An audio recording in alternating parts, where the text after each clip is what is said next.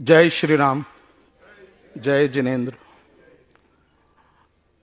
मैं सबसे पहले डॉक्टर गुमाश्ता और उनकी टीम को धन्यवाद देना चाहूँगा, जिन्होंने मुझे इस इंटरनेशनल कॉन्फ्रेंस में अपना शोध पत्र प्रस्तुत करने के लिए आमंत्रित किया। मैं भाग्यशाली था कि पिछली वर्ल्ड रामायण कॉन्फ्रेंस जो चार चार वर्ष पूर्व यहाँ हुई थी उसमें भी on a lighter side I could say that I got a wild card entry और मैंने उसमें राम रामायण और अफ्रीका पर अपना शोध पत्र प्रस्तुत किया था, और एक नई दिशा, हरि अनंत, हरि कथा अनंता के रूप में ऑडियंस के सामने प्रस्तुत की थी। आज पुनः एक नया शोध पत्र लेकर आया हूँ। और मेरे शोध पत्र का नाम है रामायण इन श्रमण परंपरा। मैं हिंदी और अंग्रेज़ी दोनों में बोलूँगा। श्रवण परंपरा में श्रमण हु लेबर्स टॉयल्स और exerts themselves for some higher religious purposes also seeker one who performs acts of austerity and ascetic. एक ऐसा व्यक्ति जो श्रम करता है, जो कुछ खोज रहा है, जो एक्ट्स ऑफ़ ऑस्टेरिटी जो तपस्या कर रहा है, और उसको फलस्वरूप इस समय भारतवर्ष में महान जैन संत आचार्य विद्यासागर का चित्र यहाँ मैंने प्रस्तुत किया है उनके आशीर्वाद से ही हम आज ये शोध पत्र यहाँ आपके सामने प्रस्तुत करने को उपस्थित हुए हैं।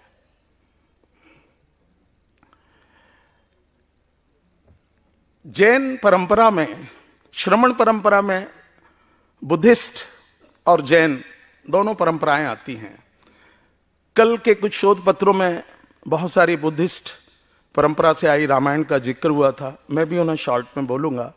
मगर उसके पहले जैन परंपरा, जिससे बहुत सारे लोग अनभिज्ञ हैं मैं उसके बारे में बात करूँगा। बहुत सारे लोगों को जानकर आश्चर्य होगा कि जैन परंपरा में भी हम प्रतिदिन राम और लक्ष्मण की वंदना करते हैं किसी भी पूजन के आरंभ में। त्रेसठ शलाका के विशिष्ट पुरुषों का वंदन जैन परंपरा में प्रतिदिन हम मंगलाष्टक में करते हैं, जिनमें राम और लक्ष्मण भी आते हैं। जैन धर्म की महासतियों में सबसे पहले महासती सीता का नाम आता है और उसके बाद महासती अंजना का नाम आता है, जो बजरंग बली हनुमान जी की माता माता जी थी। जैन परंपरा में राम को पद्म के नाम से पुकारा जाता है। Rama is referred as Padma in most of the Jain Puranas. And in Buddhism Ramayana is called Dasharatha Jataka, कल भी इसकी चर्चा हुई थी। And Rama is called Ram Pandit, Lakshman is called prince Lakhan Jain परंपरा में आज तक 600 बीसी से लेकर लगभग 250 रामायण लिखी गई हैं, जिनमें प्राकृत में 25 संस्कृत 71 अपभ्रंश 22 हिंदी 82 कन्नड़ 17 तमिल 2 गुजराती 4 मराठी 3 उर्दू 2 इंग्लिश 3 और कुछ ऐसे डायलेक्ट्स हिंदी भाषा के इन सब के बारे में बात करना तो समय की सीमा में संभव नहीं है। मगर मैं कुछ विशिष्ट रामायणों की बात करूँगा जो आपको जानने के लिए योग्य हैं। और उनमें हम जबलपुर से रामायण का कितना विशिष्ट संबंध है, मैं उसकी बात भी करूँगा। सिक्स और seven AD the first Ramayana was written in Jain parampara by Acharya Kirtidhar in Sanskrit. 643 AD to 683 AD, Acharya Ravi Ravishen wrote a Ramayana called Padma Puran in Sanskrit. Between 644 AD and, 7, and 77 AD, 778 AD, Acharya Vimal Suri wrote Paum Charyu in Prakrit. कल के प्रवचन में महाराज मुक्तानंद जी ने इस ग्रंथ की को mention किया था कि जैन परंपरा में पौम चरे नाम का ग्रंथ लिखा गया है, जो रामकथा ही है। पोएट स्वयंभू ने 677 एडी टू 783 एडी के बीच में एक पौन चेरे लिखा अपभ्रंश में। Then thirteen century Acharya Kumud and Nagachandra, जिन्हें पंप भी कहा जाता है, उन्होंने कन्नड़ में कुमुदेन्दु रामायण लिखी। देन 1439 एडी पोइट रायदू हम लोग यहाँ बहुत परिचित हैं इससे पोइट रायदू ने पद्म पुराण अपभ्रंश में लिखा। 1597 एडी आचार्य चंद्र कीर्ति ने पद्म पुराण अपभ्रंश में लिखा। 1770 एडी इसके ये जो सात ग्रंथों का मैंने अभी नाम लिया, ये सारे सात ग्रंथ तालपत्रों पर लिखे गए, जो आज भी विश्व धरोहर के रूप में भारत के अनेक शोध संस्थानों में सुरक्षित हैं। इन्हें अलग अलग भाषाओं में ट्रांसलेट किया गया है और उन ट्रांसलेशंस के बारे में मैं आगे बात करूँगा। दक्षिण में हमारे बहुत से शास्त्र भंडार हैं, इंदौर में, पटना के पास, आरा में, ऐसे बहुत से शोध और हस्तिनापुर, यहाँ हमारे बहुत शोध भंडार हैं, जहाँ ये ग्रंथ सुरक्षित हैं। आज भी इन्हें देखा जा सकता है, पढ़ा जा सकता है। 1770 एडी पंडित दौलत राम इन्होंने पद्म पुराण को हिंदी में लिखा। 18 टू 19 सेंचुरी में मुनि केशराज ने राम यशो रसायन रास, ये बड़ा विशिष्ट ग्रंथ है, इसे राजस्थानी ब्रज भाषा में लिखा। इसके बाद बहुत से जैन पुराण हैं, जिनमें रामायण को या रामायण के, को छोटा करके और दूसरे ग्रंथों के अंदर जैसे हमें राम कथा श्रीमद् भागवतम में भी मिलती है और अभी हमारे पूर्व स्पीकर ने भी बताया कि महाभारत में भी तो ऐसे ही संक्षिप्त रूप में जहाँ राम का चरित्र मिलता है, उसमें आचार्य गुणभद्र ने उत्तर पुराण संस्कृत, आचार्य पुष्पदंत, महापुराण अपभ्रंश, आचार्य हेमचंद्र त्रिशस्ति शलाका पुरुष चरितम संस्कृत, आचार्य पद्मदेव विजयगणी रामचरित, आचार्य नागचंद्र कर्नाटक पद्म रामायण, कन्नड़, चामुंड राय, त्रिशस्ति शलाका पुरुष चरित कन्नड़, नागराज, पुण्याश्रय, कथासार कन्नड़, आचार्य हेमचंद्र, पद्म पुराण, हिंदी। अब इनमें से कुछ रामायण की मैं समय को देखते हुए चर्चा करना चाहूँगा। पहला ग्रंथ जो मैंने चूज़ किया है, राम यशो रसायन रास। ये राजस्थानी ब्रज भाषा में लिखा गया है, इसकी स्टाइल मारवाड़ी है। राइटर मुनिकेश राज ये ताड़पत्र पर 18वीं और 19वीं सेंचुरी के बीच लिखा गया, जो इंडियन विक्रम संमत 1683 आता है। इसके चार वॉल्यूम है, जयपुर के निकट आमेर में इस ग्रंथ की रचना हुई। ये ग्रंथ जैन सिद्धांत भवन देवाश्रम आरा, पटना के पास है। वहाँ 1991 में इसको एक art paper demy size four में 118 पेज में 223 कलर्ड राजस्थानी मिनिएचर पेंटिंग के साथ रीप्रिंट किया गया। इसके एडिटर थे डॉक्टर ज्योति प्रसाद जैन, जो एक माने हिस्टोरियन थे। प्रोलॉग इसका doctor Rai Anand Krishna ex director Bharat Kala Bhavan, Kashi Hindu university ने लिखा। इस पर जो मिनिएचर पेंटिंग के कमेंट्स थे, वो जाने माने चित्रकार एम एफ़ हुसैन ने लिखे, ये बुक डेडिकेट हुई डॉक्टर हरमन जैकोबी को, जो एक well known German scholar Jainism पर रहे हैं। इसमें राजस्थानी टेक्स्ट है, दोहा और ढाल, जिनकी संख्या 62 है। उनमें रामचरित का वर्णन है। लोकार्पण इस बुक का उस समय के vice president doctor Shankar Dayal Sharma ने 6 अप्रैल 1991 को किया, और इसकी ओरिजिनल मैन्युस्क्रिप्ट जो ताड़पत्र पर है, अभी भी सुरक्षित है और उसे जैन सिद्धांत भवन आरा बिहार में देखा जा सकता है। ये, इसके ऊपर एक कमेंट्री आई थी, ये मुझे पिछले हफ़्ते भोपाल से मेरे एक मित्र ने भेजा। इसमें रावण दशानन का चित्र है और ये उस बुक के ऊपर जो कमेंट्री लिखी गई थी अलग अलग और न्यूज़पेपर्स में उसके बारे में जब उसका लोकार्पण हुआ था तो ये चित्र उसके लिए है।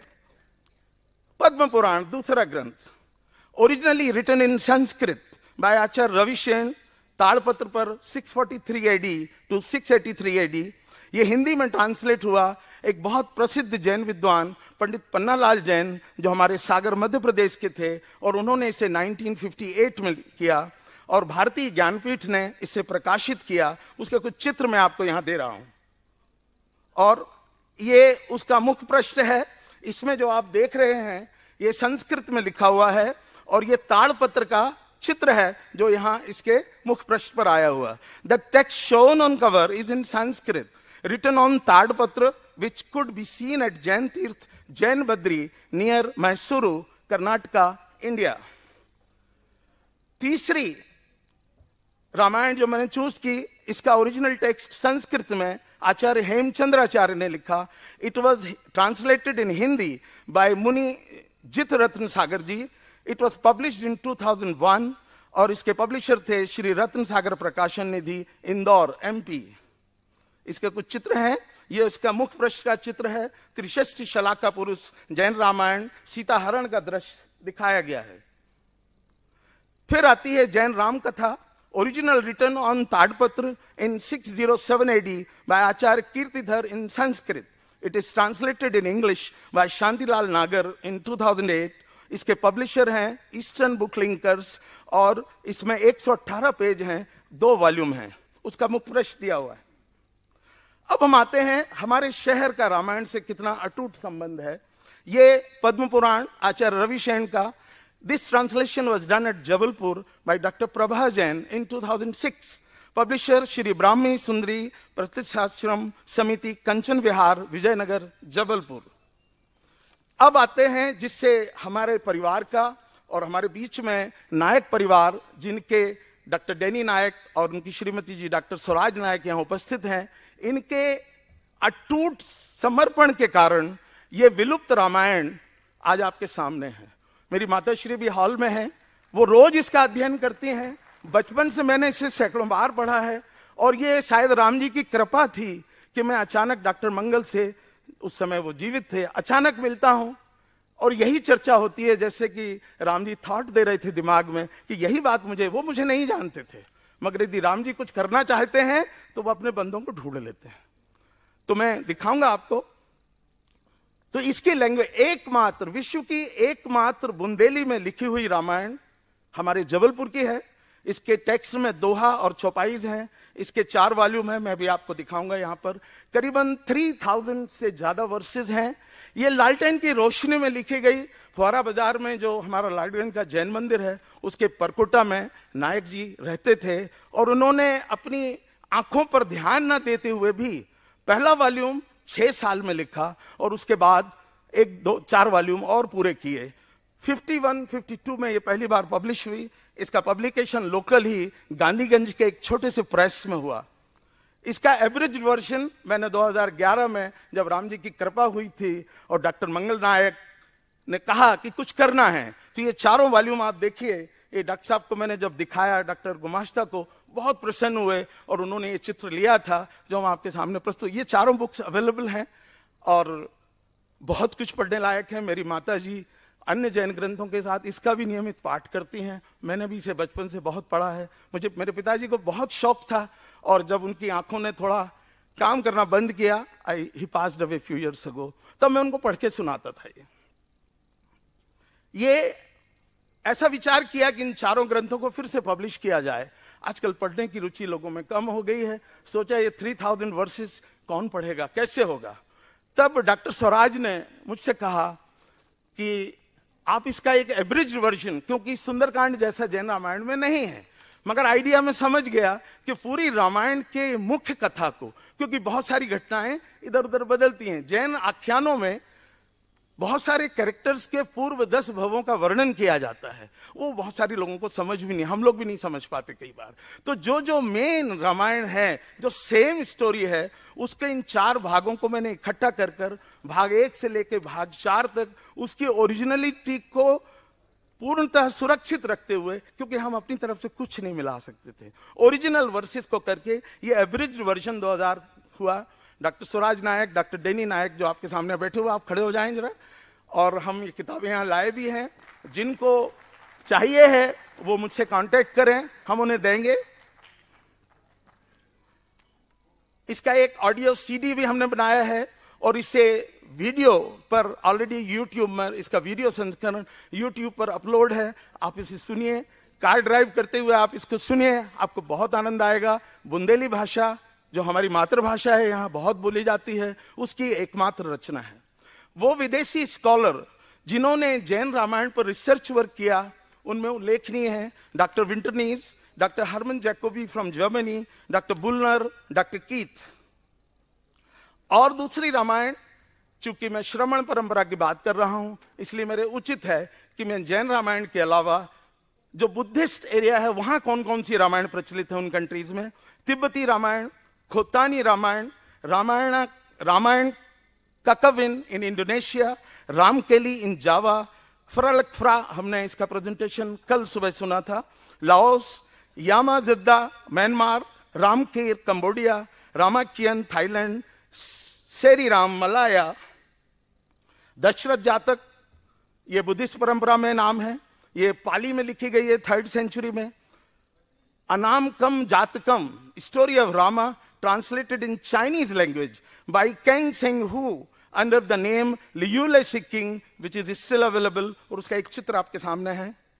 जय सिया राम। मैंने अपने निर्धारित समय में अपना उद्बोधन पूरा किया है, और हम चाहेंगे कि ये ऑडियो सीडी जो हमारे पास है, आप मुझसे कांटेक्ट कर सकते हैं। बहुत बहुत धन्यवाद। आपने इस चीज़ को सुना और जाना कि हम भी उतने ही राम के प्रति समर्पित हैं जितनी पूरी दुनिया में हरि अनंत हरि कथा अनंत। धन्यवाद।